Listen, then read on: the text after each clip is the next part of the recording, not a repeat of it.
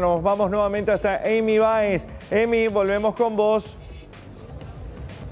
Muchas gracias, Chiche. Aquí estamos en el materno infantil de Trinidad, donde a las 9 de la mañana procederán a la vacunación de las mujeres embarazadas. Estamos aquí con los adultos mayores que están recibiendo la primera, eh, la primera dosis de la Sputnik B, según nos confirmaba la licenciada. Y a las 9 de la mañana llegan las embarazadas. ¿Por qué razón? Nos dicen los encargados de que ellas eh, se agendan, deben de agendarse de a 10 personas, a 10 mujeres embarazadas, para poder recibir esta primera dosis de la vacuna moderna. A las 9 llegan, estamos a minutitos nada más, poquito, poco más de media hora, que llegarían aquí para recibir esta primera dosis. Y no obstante, está hablando con los encargados, nos decían, estamos aguardando la presencia del director Nick Ocampos para que nos cuente los detalles, cómo hacen las embarazadas, dónde deben de registrarse. En el eh, ingreso hay una persona que ya recibe a las embarazadas y las trae hasta este, hasta este sector donde estamos ubicados con el compañero Guillermo Chávez. Ahí vemos a la señora que se va a aplicar esta vacuna, la primera dosis de la Sputnik B. Y de esta manera se da. Hay poca gente, realmente poca gente. Nos decía la licenciada que en horas de la mañana, primeras horas como son, los adultos bastante madrugadores vienen muy temprano y ya se aplicaron aproximadamente 80 personas ya recibieron esta dosis de la vacuna. Vamos a preguntarle a la señora cómo va. Hola doña, ¿cómo le va? Bien, bien. ¿Va a recibir la vacuna? Sí. ¿Está contenta, un poco duda? Sí, sí, estoy contenta. Hay que protegerse. Claro, así mismo es. Así mismo. ¿Es la primera en eh, aplicarse la vacuna en su familia o ya también? A mi marido ya se aplicó ya, sí, ahora me toca a mí.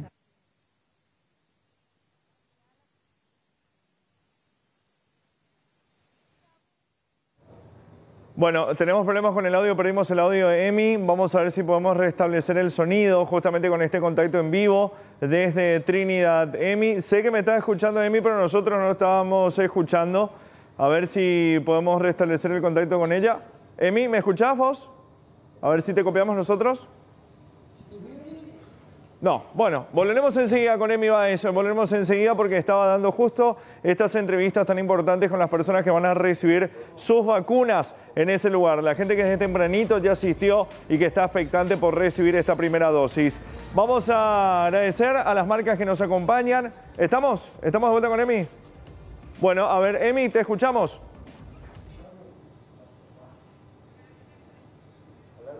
¿Emi? Hola, sí, ahora les, sí. les escucho. Ahora, ahora sí, ahora sí, ahora sí te Ahora copiamos. sí. Ahora sí estamos, hablábamos con la señora y muy contenta ella al recibir esta vacuna. Acá el señor también aguardando su tiempo, ¿verdad, señor? ¿Cómo le va? Sí, ya me inscribí, dice que nos van a llamar para la vacunación, ya estoy predispuesto. ¿Cuántos años tiene, señor? 65.